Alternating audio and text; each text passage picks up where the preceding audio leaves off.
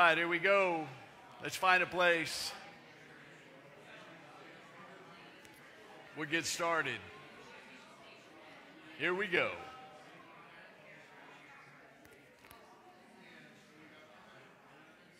Daylight's burning. All right, good morning. Welcome to Simple Truth Church. It's great to be here this morning. Looking forward to it all week to be back here and see you guys. And it was. I hope you had a good week.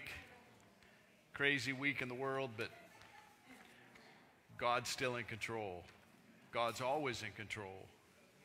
I'm glad He's God and we're not. So, uh, got a, a, few announcements today. But one, I guess my biggest announcement is Olivia Ann Alloways yeah. Woohoo!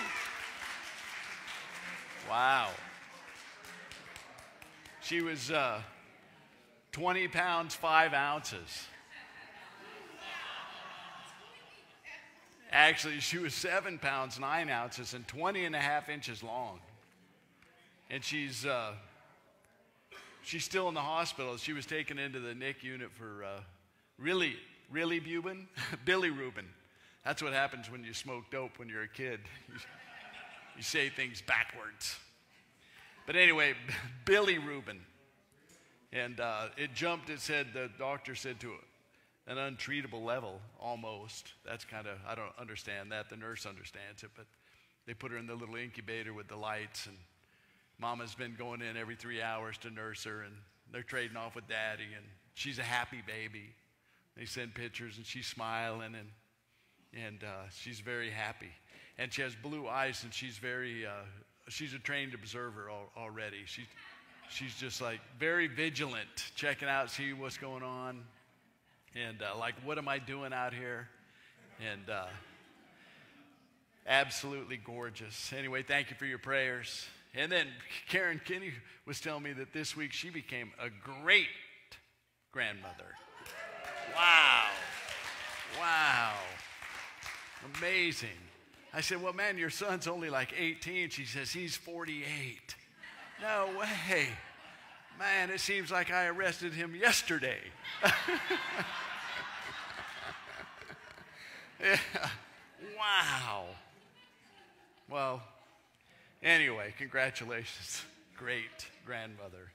So, my, my granddaughter is my, my mother's great, great granddaughter, so, but that's her, I think, third great, great grand, grandbaby. So that's exciting. Anyway. And then uh, prayer requests, remember you can go online at simpletruthlive.com and you can check things out. And, and uh, you can go on there via our website and look at our cell phones, whatever, contact us. You can fill out prayer request form back there at the stick them in the agape box, we'll make sure we get those prayer requests on the prayer line. And uh, again, you can contact us anytime on our cell phones. And then you can visit our website, links provided to uh, access uh, to our Facebook page and also services on YouTube. So they go live right now on Facebook, and then Larry posts them later on, uh, on YouTube. And then uh, we, this, you know, there's been a lot of things that, you know, I've told you that social distancing is kind of cool in a lot of respects.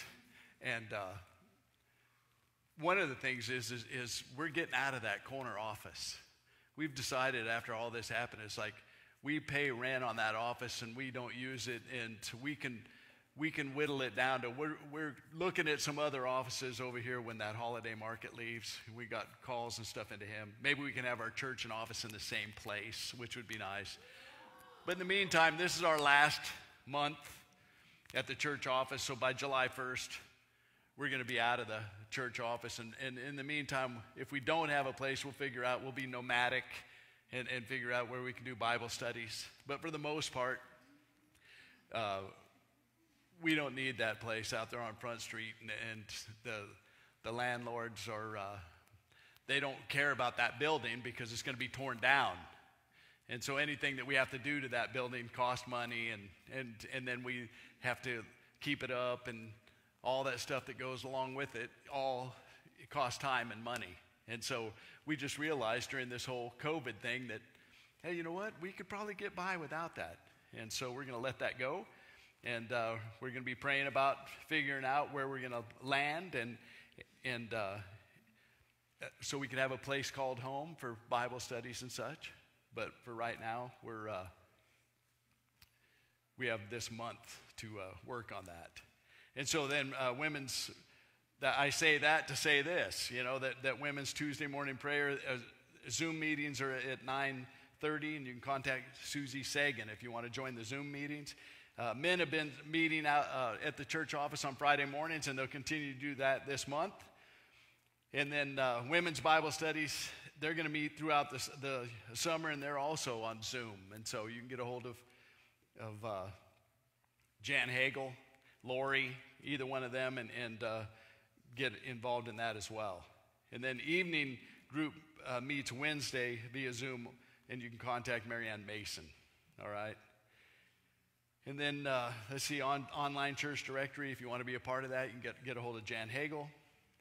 And um, our prayer is uh, continue to pray for our granddaughter, please. And then uh, Jeff Ellis, said thank you very much for praying for his father. Right after uh, we prayed for him, his father got uh, out of the hospital. And so uh, we'll continue to pray for him. He, he says he might have cancer. We'll pray he doesn't. We'll continue to pray for uh, Tom Christoff and Nancy Berger, Sarah Fink, Josiah Thornton, Dave McGurr, Chris Como, and then uh, for our pray for our law enforcement and obviously our country and and then also pray for our service members who are attached to our church somehow. And uh, Corey Pierce, that would be uh, the first guy up. He was just deployed to uh, Syria two days ago. He's a, he's a first sergeant in the Army, 82nd Airborne Ranger. And he is Farina's stepson. So he's uh, Chris Farina's wife, Nikki's son. So we'll pray for him. And uh, looks like a, a great guy.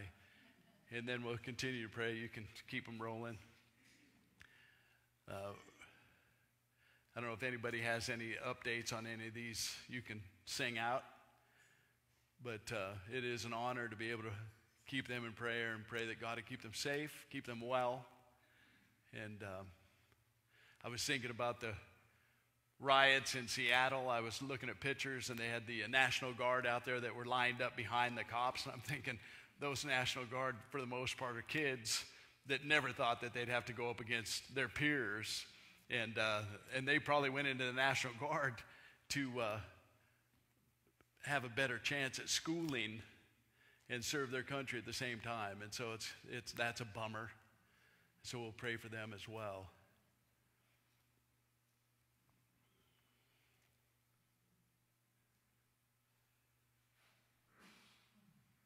Bless you. Don't be sneezing in there.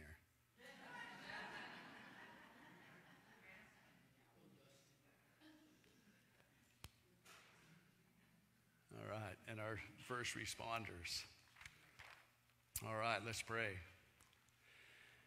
Heavenly Father, we're, uh, we are thankful that you're God and that you're sovereign and that you're in control. That nothing that's going on in this world is shocking to you that it's unfolding exactly like you know it would and will. And so we're thankful that you're in control, that we can look to you and, and for our peace. And, and so, Lord, we pray that. Lord, we pray that there would be peace. Lord, that there would be peace, that people would come to know you. And that's the way there's going to be peace. That people would, would want peace and long for search, and then they would seek, and then they would find you. And so we pray that, that people would come to know Jesus and that they would be changed from the inside out. We pray that, Lord. We pray for our country. We pray for our, our, uh, our commanders, Lord, the people that are in charge. We pray that you would give them wisdom. We pray that you would keep them safe. Lord, um, we pray that they would figure it out too. And we pray there'd be some humility. And we lift them up to you. Lord, we pray for our service members and, and those that are uh, serving our country. We just pray that you would bless them and, and keep them safe, keep them well. Lord, as they're deployed all over the world and, and um, craziness from all directions, Lord, we pray that you would keep them vigilant, but you would also give them peace. Lord, that you would give comfort to their families. Lord, we pray for those that are sick among us. And we know you're the great physician. We know that. We know that, that you're, the Bible says, your word says, you're the God of all comfort, you're the God of all peace. And so we pray that, that for those that are sick among us, Lord, you draw them closer to you than they've ever been, that their, that, that their walk and their, their uh, just the, the security they feel on who they are in you. Lord, that you would give them that peace that passes understanding. Lord, that they know that they know that they know that you're in control in, in, in their life and that you could reach down inside of them and you could just fix whatever needs to be fixed. Lord, I thank you for Olivia Ann and, and just, uh, she's gorgeous. And I thank you for that gift for my son and daughter in law and for us. And just pray that, that today she'll be able to get out of the hospital because she's healed. And so we lift her up to you. And, and Lord, we're just thankful. We're thankful again that we can come here as a family. We look around us, see brothers and sisters, and just uh, pray that you would keep this family well. Lord, that you would uh, continue to give us direction, give us peace, give us discernment. And Lord, we uh, thank you. Pray that we could uh, bless you this morning as, as we lift up praise from our hearts. Lord, that you would be glorified as well. We pray these things in Jesus' name. Amen. All right. Let's worship. Are we standing today? It's up to you, Pastor.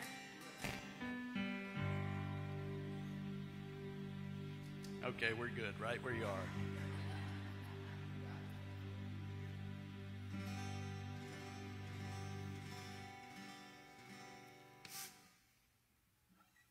Change it again.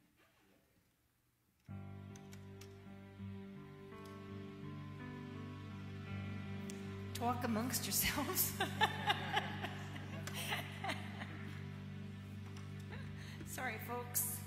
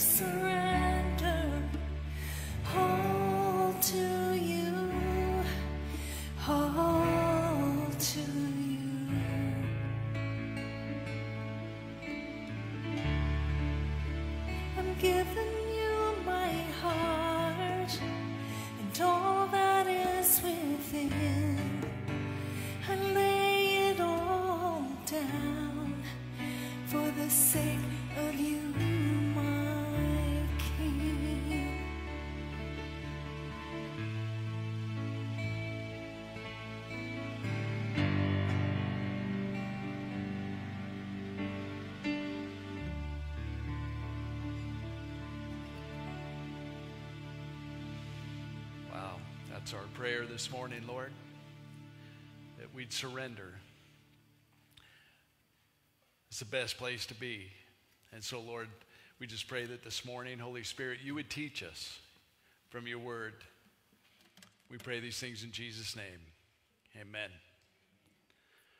Right on. So, last week we basically finished up Ephesians, and uh, we're going to move on to Philippians, but we decided, the Lord and I decided that uh, that we'd go to a, a psalm, at least one psalm in between, you know, especially the way things are going in the world, and, and we thought, well, we'll we'll do that. We we'll go to Psalm 77.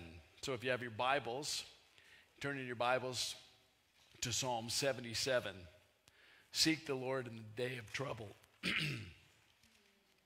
Psalm 77. You know, for a couple thousand years, the Psalms have been read and loved by believers because they provide the testimony of, of men and women in, in their life as believers, in, in their life of faith.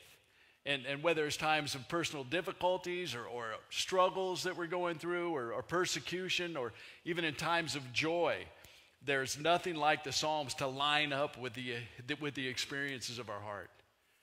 And earlier this week, I was reading Praying the Psalms. it's a, a G Man's Journey Down the Psalter Trail by Bob Blakesmith. And I read his take on Psalm 77, and I'll share it with you at the end. And unbeknownst to me, I didn't have a clue that Bob Blakesmith's sister would come to church at Simple Truth Church today with, with Bob's nephew. But uh, it's good to see him this morning. But anyway, because right now so many people are, are fi- facing the exact same problems that this uh, psalmist in 77 is facing. You know, in the day of trouble, seek the Lord. And, and follow along with me in Psalm 77. It's to the choir master, according to Jeduthun, and it's a psalm of Asaph. Starting in verse 1. He says, I cry aloud to God, aloud to God, and he will hear me. In the day of my trouble, I seek the Lord.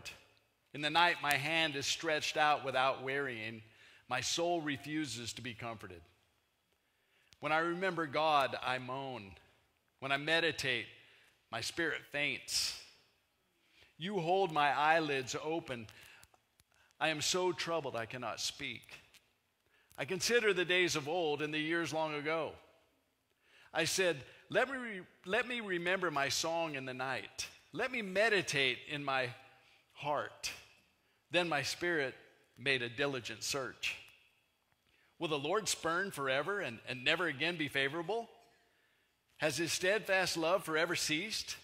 Are his promises at an end for all time? Has God forgotten to be gracious? Has he in anger shut up his compassion? Verse 10 Then I said, I will appeal to this, to the high years of the right hand of the Most High. I remember the deeds of the Lord. Yes, I remember your wonders of old. I will ponder all your work and meditate on your mighty deeds. Your way, O God, is holy. What God is great like our God? You are the God who works wonders. You have made known your might among peoples. You, with your arm, redeemed your people, the children of Jacob and Joseph. And when the waters saw you, O God, when the waters saw you, they were afraid. Indeed, the deep trembled. The clouds poured out water. The skies gave forth thunder. Your arrows flashed on every side. The crash of your thunder was in the whirlwind. Your lightnings lighted up the world. The earth trembled and shook. Your way was through the sea, your path through the great waters, yet your footprints were unseen. You led your people like a flock by the hands of Moses and Aaron. See, as believers, as believers, we believe God is sovereign, that He's omnipotent, that He's omnipresent, that He does see the beginning of the parade. He sees the beginning of the parade, you know, when, when time started, and He sees it to, to, the, to the end, from creation until we're in glory. He sees it all and everything in between. And He touches our lives at every stage and at every aspect of what we're experiencing in our lives. Even the littlest things, he's, he's touching our lives. He, he knows about that.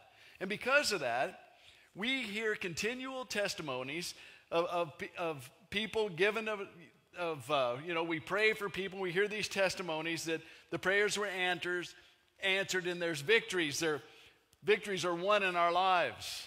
Victories are won in the lives of, of believers. Victories are won in lives of, of unbelievers that we pray for, and they come to know Jesus. But all of us have experienced turning to God at some moment where there's a desperate need in our life and, and we're praying and asking God for help and, and finding nothing. It's like, wow. We find that the doors are apparently shut. There's no response. You know, there's no response. We're crying out to Him, even to our most urgent, our most passionate plea from our hearts, the depths of our hearts, and there's no response. And we, when we don't get help, we, we long for, for what we long for and we, for what we desperately need. We, our hearts ask, why? Why? And then doubts flood our minds and we wonder, what's wrong? What's wrong? Are, are, are we really saved? Do we really have a relationship with God? You know, is, is there something wrong with me? Is there, is there something wrong with God? It, it's likely that we're going through this experience even today when we've been crying to God for help and then there's no help given. And this is the problem that is faced in the, in the that the psalmist is faced here in, in the 77th psalm. This psalm was written in order to, to help people with this kind of problem. And so the psalm relates the story of a man who has experienced a, a seemingly unresponsiveness of God in his prayers, and it drove him almost to the point of despair. And then he saw what was wrong. He, he corrects his way of thinking. And then he comes to a place of trust. He comes to a place of peace. He, he comes to a place of, of strength again. And from desperation to peace, desperation to peace, that's the story of, of the 77th Psalm. And probably all of us have experienced this. You know, we're being so tired, we're, we're just emotionally distraught that, that we can't respond to a teaching. You know, you, you come to church and you're that way, and the teaching's set out, and you, you can't even respond to it. You know, someone tries to help us by pointing out some truth that, that we know, and we know what they're saying is, is, is true, but it doesn't click. It doesn't do anything for us. You know, when somebody's real helpful to us and they said, come up and say, Well, did you pray about it? Have you been reading the Bible? And you just think, yeah. You know, at times like that, when we're buffeted and beaten by the storms of life, you know, many, many times we turn to the Psalms and, and read the experiences of men and women that, that God, you know, gave them the strength, or, or, or like we're going to see in this psalm, that they've gone through exactly the same struggles and the same pressures that we go through. The Apostle Paul, he puts it this way in uh, 1 Corinthians 10 13. He says, No temptation or, or trial, that's the same word in the Greek here. It's no temptation or trial has, has overtaken you that is not common to man. God is faithful, and he will not let you be tempted or, or, or tried beyond your ability. But with that temptation or trial, he will also provide the way of escape that you may be able to endure it. Even that point right there that Paul makes is helpful. Even that point, when you read that and you think, okay, well, there's nothing new under the sun, and, and so people have gone through what I've gone through or going through, and, they, and they've survived it. And so that point right there helps, and that's why the Psalms have been such a tremendous blessing in times of, of really serious emotional problems and distress. Psalm 77 rings a bell with us, and, and, and, and we have felt like this. We have felt like this in verses 1 and 2. I cry aloud to God, aloud to God, and he will hear me. In the day of my trouble, I seek the Lord. In the night, my hand is stretched out without wearying. My soul refuses to be comforted. So we can, we can sense the desperation about that. We can sense that because, because we've lived that, right? And here's a man who's faced with a deep and, and serious problem. It's, it is coming from his guts, right? You know, and, and we aren't ever told specifically in this psalm or anywhere else what the trouble is, but the effect of it's very clear. You know, perhaps it's some deep disappointment. You know, all of us experience that from time to time. Sometimes, you know, we had our heart set on something, and then through the course of events, it doesn't work out the way we thought it was going to work out. And so it, it falls through. We're absolutely crushed. And then he comes to God in his distress. This guy, he comes to him in, in that distress. And it will, or maybe it's a sorrow that, that has come in his life because somebody passed away. And we've experienced that. Or losing a friend. Or something that utterly crushed his heart to sorrow.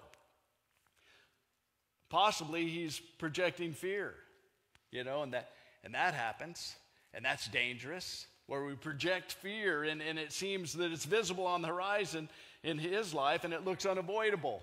I, you know, I, have never been, uh, had a disease that was incurable, but I could see where that could come into play here, where you're projecting. You're projecting, and, and, and uh, and, and you can see things coming that are obviously unavoidable, but you don't know how God's going to work things out and how that could make you stay awake at night. Or perhaps it's some defiling experience that, that he has gone through, something that he walked into without realizing what he was doing. And he found himself caught up in things that later he was totally ashamed of himself or, or afterwards. It's like, how did that happen? And all these experiences can produce this kind of reaction. And the psalmist only refers to it as, in verse 2, the day of my trouble. It's the day of my trouble. And so we can see how it hits him as he cries to God again and again. It's, he repeats himself. And, and here's a man who is pouring out his heart in prayer. He's pleading with God. He's crying out for help. He's stretching out his hand, pleading with God. Please, God. And if we've experienced this, we can relate to exactly how he feels. There's, there's this involuntary sense of pleading with God, of, of praying, of, of crying out to Him, of, of asking Him for help. You, you, you can think about, uh, sorry, you can think about Paul the Apostle in, in uh, Romans 8, you know, where, where he's talking about how he's, he's groaning. He, he doesn't even know what to say, and his spirit groans within him, and the Holy Spirit basically translates because the Holy Spirit knows. So the psalmist seeks comfort for his soul. And like many of us have done, he says to himself, Hey, you know what? I can't get carried away like this. I can't do this. I can't be thinking about this. I, you know, look how distressed I am, how full of anxiety I am, how, how upset I am. Look how, uh, it, you know, and it's only going to make it worse. This way, what, I can't do this. You know what I'm going to do? I'm just going to forget about it for a while. I'm just going to go hoping that it goes away. I'm going to get busy and go do something else, and it's going to go. But he says in verse C, verse uh, 2c, he says, My soul refuses to be comforted. It refuses to be comforted. The problem, whatever it is, it's haunting him. You know, it, it, there's nothing that can take his mind off of it. Every time he tries to do something else, his mind's hijacked with what's going on in his mind, and, and it returns again to this very unpleasant problem that's twisted him up, that eats him alive, that haunts him, that tortures him, and it won't let him go. Then the problem even gets worse in verses 3 and 4. He says, When I remember God, I moan. When I meditate, my, my spirit faints. He says, You hold my eyelids open. I am so troubled that I cannot speak. So it increases, it increases his distress, right? And he cries out all the more. He tries to think about God, but it says his spirit faints. His spirit's fainting within him, and he feels himself growing weak, almost despairing. I mean, how many times have you laid awake at night and you think, no, I'm not even going to go there. I can't think about it. I'm not going to think about it. And then you think, okay, it's 2 o'clock in the morning, and then it's 5 o'clock in the morning, and then it's time to get up. I can, I can picture this guy. He tries to sleep, but his eyelids refuse to close. And all night long, he toss, tosses and turns his restless anguish, sleeplessness. Finally, he's absolutely speechless. And he can't even describe his problem to somebody else. And that's an honest description of, of a man in trouble. And that's a beautiful thing about the Word of God. That is a beautiful thing about the Word of God. It never glosses over human problems. You know, it never treats them as, as writers of our day often do. The scriptures plunge right in. They, it's like a knife, right? And surgical, it plunges right into the depths, cuts right into the depths, right into the heart of the circumstances, dissects it. So here's the, the psalmist holding back nothing, describing exactly how he feels. And, and some, some of us are saying, well, that's my experience. I've experienced that exact same thing. It's exactly. That's, that's just what I've been going through. And so we look at this man's experience. He's obviously a believer in God. Okay, he, he, is, he has brought his trouble to the Lord. He brought it to the Lord to lay it at his feet. He realizes there's, there is help in God, and, and that's where he's come. That's why he's come there. And he's a godly person. And you know, you think about it, this is true about all the Psalms. All the Psalms, they're godly people. They represent the struggles and problems of godly people. That's what they, excuse me, represent. So we find that even in the New Testament, right? Paul the Apostle speaks of being pressed upon every side and the problems that he despaired, that they were so great that he despaired even his life. 2 Corinthians 4 8 and 9. We also read about that in the Garden of Gethsemane as well with Jesus. You know, and it's not wrong to be faced with these kind of problems. See, here's a godly man, yet he's confronted with terrible circumstances in, life, in his life, and it makes him cry out to God. And he's not a rookie, right? He's not a new Christian or a new believer. He's, he's, he's not a beginner in the faith and, and he believes in God. He's not an immature believer. It seems that he's well acquainted with the scriptures, right? He, he knows the history. He's told us some history here about God's people. And he's obviously been instructed in certain methods to try when he's seeking help from God. He mentions two of them here prayer and meditation. And he knows that it's important to bring his problem to God. And he knows the way to approach him, and he's sincerely, he's sincerely uh, attempting to do these very things. Yet the second factor for our consideration is evident that he's confronted here with, with two problems. He's got two problems, not just one. First, the distressing circumstances that have, have brought him to God, right? And those are reflected in verses 1 and 2. But in, in verses 3 and 4, there's a second kind of problem that grows out of the first, and, and there's that apparent failure of God to respond to his plea for help. And so that compounds the problem, that makes it worse of the two problems, that's the greatest problem. That's the one where he says in verse 3 I think of God and I moan. It only makes him feel worse. Why doesn't God do something? If God was here, this wouldn't be happening to me. This is a cry that comes welling up out of the depths of his anguish. It's like, You have got to be kidding me. In verse 3, when I remember God, I moan. And he's like, Why doesn't God help me? When I meditate, my spirit faints. So it's bad enough that he endures the circumstances that he has to go through. But what really troubles this man is that he's facing the possible ruin of his faith. You know, he, he sees that there's a possibility of him not only losing this battle, but of losing every battle. And so what is what's really troubling is, is down down deep is that if if if his prayer doesn't work, then God isn't real. That's troubling that if, if God is not real, then his faith is delusion. That his faith isn't real. That life's a nightmare of hopelessness, and this man is but a helpless victim of forces that are totally out of his control. He's just along for the ride. Doesn't know where he's going and who he's going with if God's not answering his prayers. And that is his major problem. That is what's really bothering this guy. And so, this is what distresses us a lot of this. It's not so much the fact that we, we go through difficult times, I mean, because we know. That's one of the promises in the Bible, right? We've said that before, that we don't care.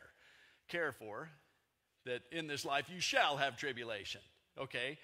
So it's not so much the fact that we, that we go through difficult times and tribulation and pressing circumstances, but what gets us to the moments like this is when we pray and ask God for help and nothing seems to happen. It's like, wow. You know, the quiet, the quiet is deafening. There's no, it, there's no response. We have to struggle with have we been kidding ourselves all along? You know, I cry out to God, is, is, is faith a delusion or is, is God not real? And that's where the, he's struggling as well. Anxiety, and then anxiety, distress, things that are going on in our life like that opens up the door to temptation. Every time we enter a period of struggle or pressure or, or unhappy circumstances, we're exposed to severe and pressing temptation to doubt. Very tempted, very tempted to doubt. And then the enemy, like we learned in Ephesians 6, tries to get a foothold in there. If he could get a little bit of doubt going on, then he starts to get a foothold. And so we, we have a temptation to disbelieve. And it seems to come, uh, to come at us, it's so logical, right? That's the experience this man had. He's tried prayer and it didn't seem to work. God's unresponsive. Nothing inside himself lifts his, the burden of his heart. He can't fix it. He decides to try something else, something that very likely was suggested to him by someone who's well meaning. Again, he decides, I'm going to meditate. I'm going to think about God. I'm going to think, I'm going to think through my problem. In verses 5 and 6, back in our text, she says, I consider the days of old, the, the years long ago. I said, Let me remember my song in the night. Let me meditate in my heart. Then my spirit made a diligent search. So, here, again, he's looking for answers. He goes back over the past. He's thinking about how God's been good to him in the past. And, and he meditates. He remembers years long ago. He remembers past blessing. He's remembering the times that he found God's favor. He remembers how God has given him a song, gave him a song in his heart. And, and though the circumstances were distressing, he had been kept strong at that, with that inner song. And when I was, when I was thinking about that, I was thinking about uh, Give Me Jesus. What's the result of that kind of approach? And, back in our text, verses 7 through 9, he says, Will the Lord spurn forever? So he's thinking about when he's, when he's meditating, will the Lord spurn forever and never again be favorable? Has his steadfast love forever ceased? Are his promises at the end at an end for all time? Has God forgotten to be gracious? Has he in anger shut up his compassion? See, that seems logical. That's you know, he's he's reasoning in his mind. It seems logical. If God blessed in the past, why doesn't he bless now? If he's been faithful in the past, why come he isn't faithful now? Why do I seem so or feel so abandoned? And, and these are questions that are pressing upon him. And then the conclusion comes in verse 10. And then I said, I will appeal to this, I will appeal to this, to the years of the right hand of the Most High. So here, here's a man who's really, he's really trying to be honest here. And he says, Hey, you know what? I tried to figure out my situation. I've worked it over. I've, I've prayed about it all night long. In the past, I know that God has given me help, but no help's come now. God's made my heart to sing in the past. He's given me joy. He's given me peace in the past, but, but it's empty, barren, and joyless right now. So why is this? He says, I thought about it. I searched my own life. I've searched my own heart. And these questions have come, have come to me, and I can't answer them. I can't figure it out. And so my findings must be hey, I, I misjudged God. I thought that God never changed, but that He would always respond to me every time, each and every time that I cried out to Him, but He hasn't. And because of that, I'm driven to the irresistible conclusion that God has changed. That He has changed, that, that He is like a man, that, that you can't count on Him. And so this man's facing the possibility of losing his faith. He says, My faith is, is, is fainting. And he sees the, the terrible tragedy of it. And so this is, this is he has once, he's once counted on all this, and this has always comforted him in the past. It strengthened him, and, and it gave him character. It gave him power among men in the past. Now it seems that like it's nothing, it's but crumbling, his crumbling foundation around him, and it's disappearing fast. And soon he's, he's going to lose everything that he held on to in the past. And that is, again, what he said is, my, this is my day of trouble. And that's his present distress. That's the hidden problem right there, you guys, of, of many us, of us. That's the hidden problem right there. You know, we, hey, I just don't know what to do. I've tried prayer. I don't know what to do. I've tried reading my Bible. I've tried to think about things, but nothing seems to help. It just doesn't seem to help and I don't know what to do. What's wrong with me? And then again, the enemy steps in and says, You're not even saved. You don't even have a relationship with God. In fact, did God really say that? So, and therein, therein lies right there the reason why this psalm was written. Right there. This man found what was wrong, and he, and he found it very quickly, and he began to change and he worked his way through it on, on a different approach and, and it soon it brought it soon brought him out to a place where he had peace brought him to a place where he had trust you know many many have worked their way through through the things that we go through we work through those because because we want to live a life of faith and so we're able to work through those things that is one of the great things that we can learn from the from the psalm right at the very beginning the reason why this is true is declared by the prophet Isaiah. It's declared a lot of places in the Bible, but the, the prophet Isaiah declares it uh, most clearly. Isaiah reveals that God says in Isaiah 55 8, For my thoughts are not your thoughts, neither are your ways my ways, declares the Lord. You know, I've thought about that when I'm doing memorial services. And you, and you think about Martha running out and meeting Jesus after her brother Lazarus died. She runs out there and meets him, and she, and, and she says, You know, if you'd have been here, my brother wouldn't have died. I mean, how many times have I thought that? You know, Jesus, if you'd have been here, this wouldn't happen. But then I think to this my thoughts aren't your thoughts. My thoughts are not your thoughts. Neither are my ways your ways. God's perfect. And so next week, we're going to hold off on the conclusion on this. But, and we'll go over that next week, the, the, the next 10 verses. But we're going to conclude today but by what Blacksmith said. And, and, and, and uh, Bob Blacksmith, he wrote this, Praying the Psalms. He's a former FBI sniper. I like to throw that in. I worked with him at the sheriff's office. I like to hear, you know, what a guy, because he's brilliant. So, so I like to hear what a guy says with that kind of background, what he says about the Psalms. He's because he's an investigator. He's a trained investigator. So he investigated this. This is what he says.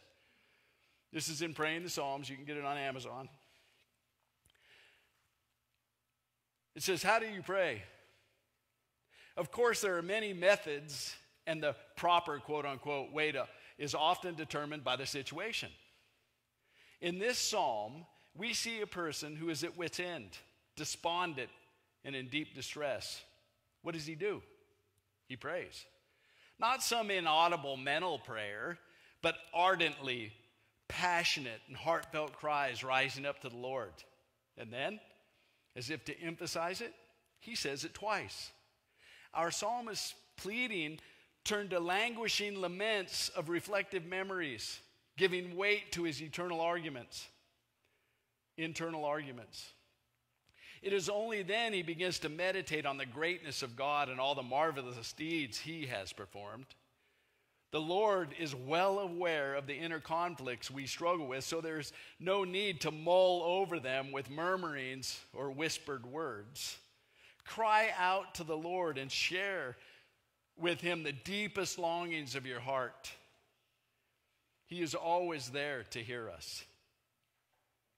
And then he has a prayer.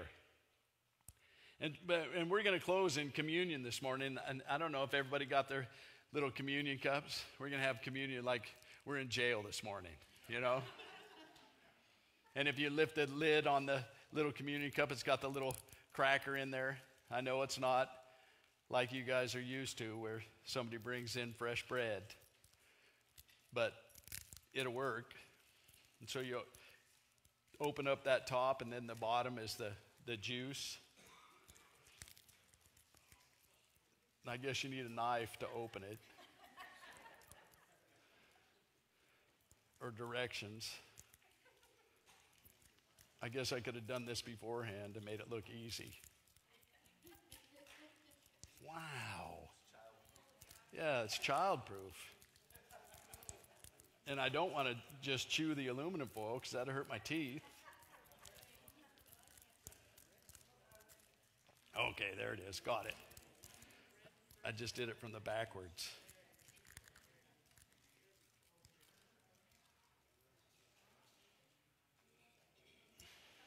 All right.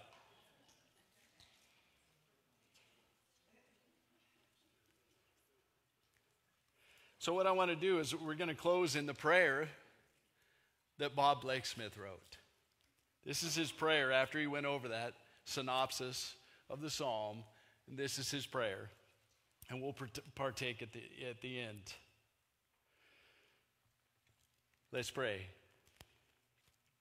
Oh God, I cry out to you with a troubled voice, and you hear me. When the travailing trials of life linger from day into into uh, night, I seek your face for guidance. For unless you rescue me, my soul will never know solace.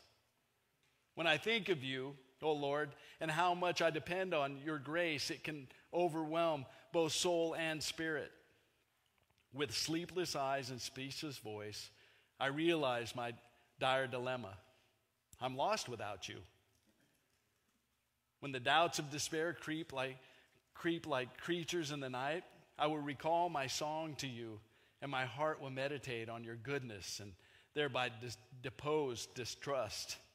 Away with any questions about your acceptance, loving kindness, gracious compassion, or promises. Yes, I will meditate on your mighty deeds and wondrous works, for, for you have redeemed your people. Water, wind, earth, fire reside in the palm of your hand. Without delay, they rapidly respond to your commands. And while no one can trace your footsteps, you lead your people in love if we will only listen, obey, and follow. So, Lord, we thank you. We thank you that Jesus is our answer, that Jesus is, is our peace, that Jesus is our comfort. And Lord, as, as we take these communion elements and, and we think about him. We do this in remembrance of him. And the fact that, that we realize that we're just sinners. For we all have sinned and fall short of the glory of God, and we recognize that Jesus is who he is, and he's the King of kings and Lord of lords. That he died on the cross for us, and he rose from the dead, and he's alive today. And so we repent turn from our sins, ask you to forgive us our sins and cleanse us of all unrighteousness. And Lord, we receive that free gift of eternal life, and we thank you. Let's partake.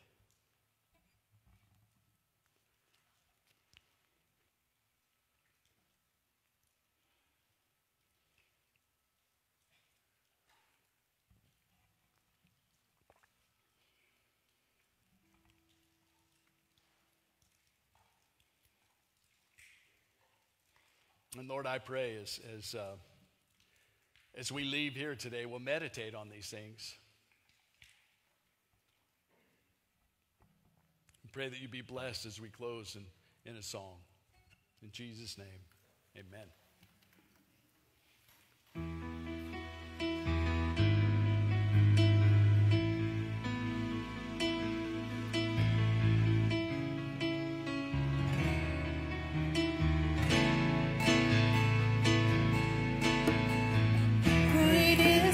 Faithfulness, O God.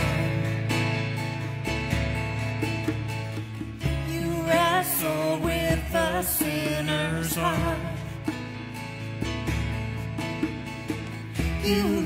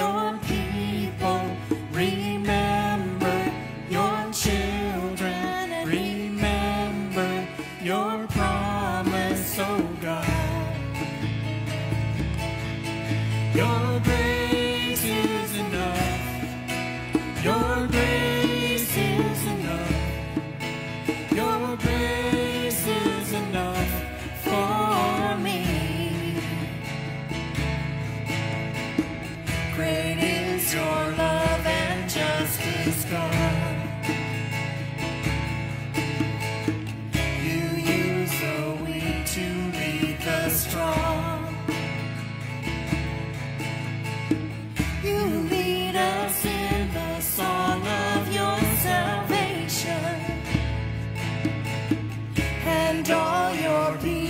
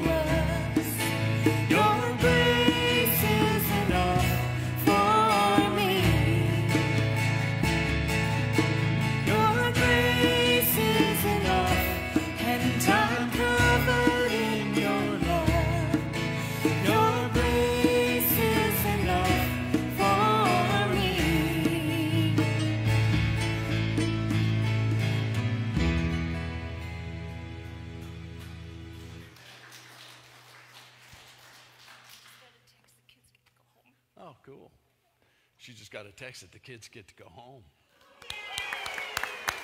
Hey. Wow. So, hey, thanks for being here today, whether here or on live on Facebook. Glad to, that we're all here. But when you leave here today and you, with that taste of styrofoam and, uh, and juice in your mouth.